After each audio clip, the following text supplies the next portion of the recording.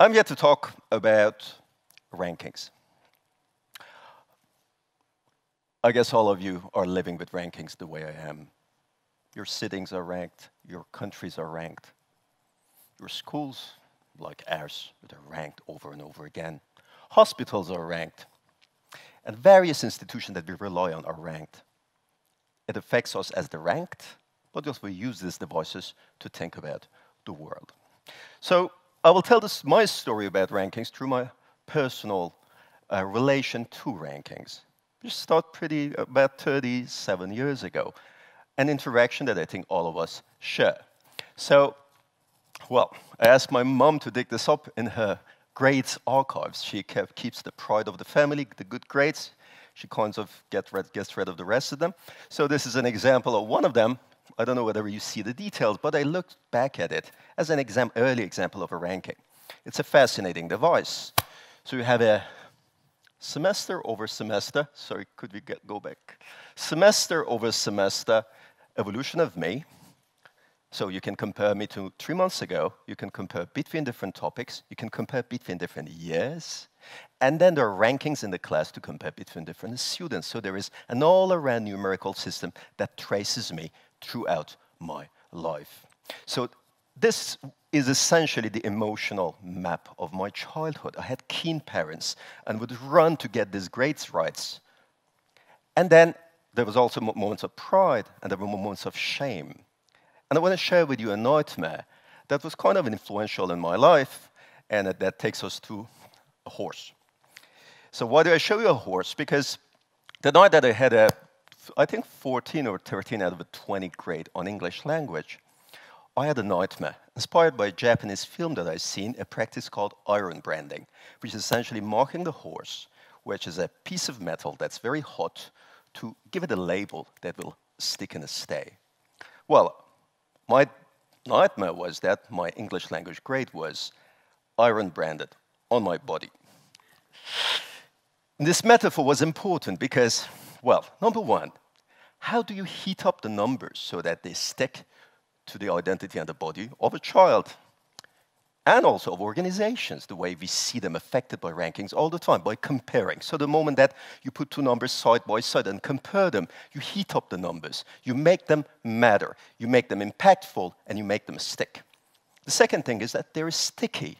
So these grades are important labels that connect us. For example, you can become a better student, a better school, a shitty country through these devices. You become part of a shitty country's community or bad students group of people. So these relations that these devices create makes it very difficult to move out of that group. So essentially, they make you, structure you, more than they describe you. This takes me to the next stage of my life with rankings. So, adolescent, starting to read the news. Every week or so, there is another ranking that comes out that essentially takes me, tells me that, hey, you know what? Your country is shit. I'm sorry to use that term, but that's essentially how it feels, ranking after ranking. So ranking of democracy, ranking of, well, gender equality, ranking of transparency and corruption, ranking of even happiness. So we're told over and over again every two years that we're sad, and that, that takes us to the next graph. So this is the graph of a graph of a ranking of happiness. Typically, the rankings that I've seen over and over again, and I'm not alone, all of us live with rankings of our communities and of our, of our countries. We see the usual suspects, Scandinavian countries on top, then we see Western countries follow, then we see the rest of the world who are the unhappy and the corrupt, and on and on. So I learned with time that the reason that it seemed like my country is in such a state of constant disaster through these rankings is simply because it comes maybe from a different, maybe we have lots of problems, of course, but also these rankings comes from a different value system, maybe a little bit of different idea of happiness. And uh, because I didn't feel sad at the time, neither my family, neither my friends, neither my community. So this is the coverage of this ranking. So we were number 117. So in the next slide, what we see is that this is the news coverage. So this is one media outlet saying that, hey, the Norwegians are the happiest people in the world. The Iranians are 108, and African people are the saddest in the world. And they put up a photo of two happy blondes with a Viking hat as an image of happiness. And that image sticks. Well, okay, over there they're happy, they laugh, and it seems like we don't laugh enough. We did actually. So on the right side, it says the Finns are the happiest in the world. Iran is even sadder than Palestine and Lebanon. So those are the references, it seems like, of sadness somehow for this news outlet. And this is an image of happiness in Finland. They have fireworks, which sounds cheesy, but anyway. So this shows how this affects us, and this creates debates. What's important is we always use the number. We never, never question the method. We never question the organization behind it. The language is an independent organization or and if an international organization has told us that we are such and such type of people, but we never look at the backstage of these devices. And that takes me to another example. The Global Gender Report, this uh, ranking of the World Economic. So we historically never questioned it because it's always said we are among the maybe 140th, 130th, we are at the bottom, and we're used to it. So as you can see here, this is the ranking from 2014. Iran is 137th. But this time, something happened. Saudi Arabia was 130th. And given the special relations that the two countries have at this point in time, there was lots of debate in the media how can we be worse than Saudi Arabia? Especially women in Iran fight for freedom. They're very present in all professions that you can imagine in the parliament and as ministers and on and on. And so women got pissed off that why are we, after all, in all of these rankings, including this one, so all constantly at the bottom? So for the first time, the methodology became a problem. So in the next slide, we see that. So they question the indicators. This is one indicator that looks at enrollment in primary education. What we see in column two is female enrollment, in column three, male enrollment, they divide the two, they come up with a ratio, they rank based on that. What we see is, for example, the country that we discussed, Saudi Arabia, they're 98 and 95 for female and male, according to their reporting. You divide them up, you end up with 1.03. For Denmark, well, it was so reassuring to see Denmark down there for the, for the first time. They're full parity, 98 and 98. So they get a ratio of 1.01. They're ranked 37th. And Iran, you can see at the bottom on the other side, is 96 and 98 for a ratio of 0.98. It's number 108. So what I, so when I saw this, I thought, well, this shows sometimes the differences are meaningless, but the ranking needs to rank. So I learned that the ranking, besides the underlying thing that it captures, it needs to squeeze difference out of the data to show difference. Otherwise, rankings are meaningless. So after this, what happened was that, guess what? I did something that many of you here are doing. I did an MBA in Canada at Schulich. In a pretty ad hoc way, I ended up being hired in a company that developed rankings. So environmental, social, and governance rankings. So I ended up being behind the development or in an advisory position for lots and lots of rankings. So as you can see in this slide, I was involved in rankings in access to healthcare. I had involvement advisory role for access to nutrition rankings of large nutrition companies, also rankings of sovereign wealth funds, also rankings related to uh, aid transparency, on and on. It was a fascinating place to be. So all of a sudden, I see what's behind the scenes of these devices that's been, in many ways, sometimes frustrating me, sometimes fascinating me over the years. My observation was that, number one, how fragile we were, or the teams that I was working with. Normally, these rankings are developed increasingly in the private sector, I mean non-state space. Small teams of young analysts and small organizations are behind them. The implication is that they're prone to intimidation because they're dealing with large organizations that they want to influence, and they're dealing with very contested and hot issues.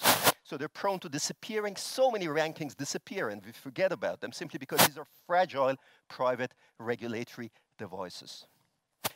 Another thing that I observed was how much ad hoc power we had.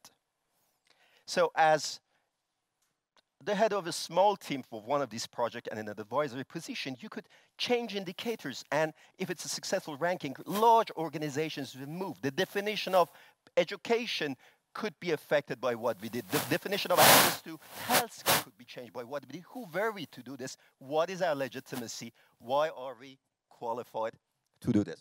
I'll get 30 seconds more. Huh? so, the next stage in the story is we move on to academia. I become an academic. I do a PhD, 2011. I become a professor.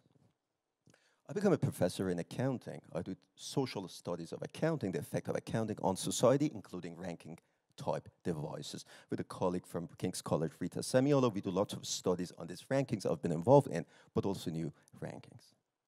But also, another fascinating realization for me is hey, I'm back to where I was at the age of six and a half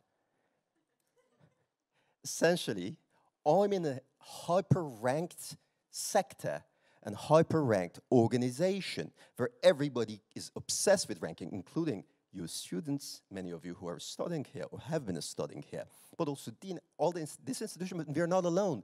All the schools in the sector, they're constantly talking and caring about their ranking. The journals that we publish in are affected by rankings many schools' strategy is fully outsourced to these rankings and what type of a strategy will improve their ranking. So who does, for example, our own ranking, the FT Business Schools ranking? It's a few staff at the FT offices. They're defining essentially what business education is about, mostly along market-based criteria. So the other thing that I learned was that seeing it from within the organizations, I felt like we were getting iron branded again. So I felt like these devices have the power to mark us, to put sticks on us that are very difficult to wipe off, that structure us in fundamental ways. To summarize, I wanted, I want you maybe to leave with a few points. Number one, rankings are there to stay. They're powerful for reasons. Number one, we're increasingly needing to decide at a distance politicians, individuals, organizations. And quantified information makes it easy to decide at a distance. Number two, they simplify the world, and simplification is an important demand from organizations and from individuals. And number three, the drive on the back of the excitement of winning and losing. The media love that, different stakeholders like that, and the winners in the game love that. And the collective power of these actors and their demand and pull will make ranking intensify and expand over the years. So I want to summarize with these four ideas about the effects of rankings on especially how they're produced on matters of public interest. Number one, rankings, a lot of them de-democratize governance of public goods. What does that mean? They move their, the idea of education, healthcare, nutrition are defined from public arenas to private arenas. They can do multi-stakeholder consultation and various things. Some of them do regardless. They run the game in the private sector and very small organizations of what are our public goods and how they should be managed. Number two, they westernize public goods. So ranking is part of an interesting phenomenon where governance is moving from intergovernmental organizations, a lot of it, that is member funded, to private organizations that are donor funded. And donors are dominantly Western. And organizations who rank by extension are dominantly Western. And they bring Western definitions of public goods throughout the world. Number three is that rankings are fragile devices because they're done a lot of times, especially when they're done with not-for-profit organizations or private entities, but very small teams, badly funded organizations. The implication is that they can be easily intimidated, but also they can easily disappear. What does it tell us about how we are regulating our public goods? And number four, rankings are spectacles in the sense that they have to appeal to their various audiences and to have to manage the complex politics of the field coming from a weak position, at least at the, in the first few years. So there is a tension always between what you capture and what kind of representation of data, what kind of variability. Whether you should be stable over the years, but with some change to create news. You should be consistent with people's intuition so that they take it to be good quality, but have some counterintuitive information to generate news. All of these attributes drive how rankings look like. With that, well, all of this was kind of maybe a, a critique so far of my life how and how it was affected by rankings. I want to go away with some three ideas about how we can now live with them. The first idea that's being pitched a lot by some of my colleagues is maybe we need alternative rankings. If we start doing rankings of loneliness, rankings of generosity and homelessness in cities, for example. Maybe we, if we look at schools with a very different set of criteria that look at connectedness to the local community, relevance of research for the local communities, then we will end up with very different alternative rankings. Will, this will reinforce the quantification paradigm, but at least provide alternative value sets. The second thing that is why I'm doing this talk here today is the idea that let's foreground the hidden, the, essentially the, the skeletons in the closet, the methodologies, politicize them, make rankings debatable. They're too reified, they're too solid. Let's make them stutter and let's make them, make them questionable. And the third one is let's think of alternative ways of knowing. If you're managing a school, if you're managing any type of initiative and entity, there are so many possibilities also, especially with technology, to enable people exper experiencing an organization that can be an ad addendum, complementary to various types of ranking devices to tame their effect so that they don't dominate the paradigm of knowing from a distance. Thank you very much.